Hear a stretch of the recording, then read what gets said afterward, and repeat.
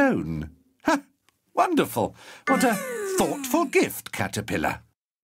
Now, now, you two. At least Caterpillar thought to bring Pato a gift. What's that, Elly? You have something for Pato too?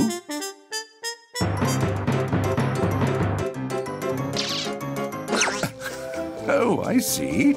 You're giving Pato a tea party for his birthday. And look, Pato, Pocoyo has a present for you as well.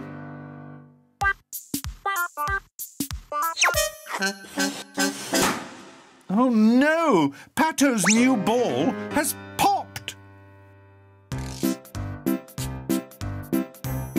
Oh, Elly.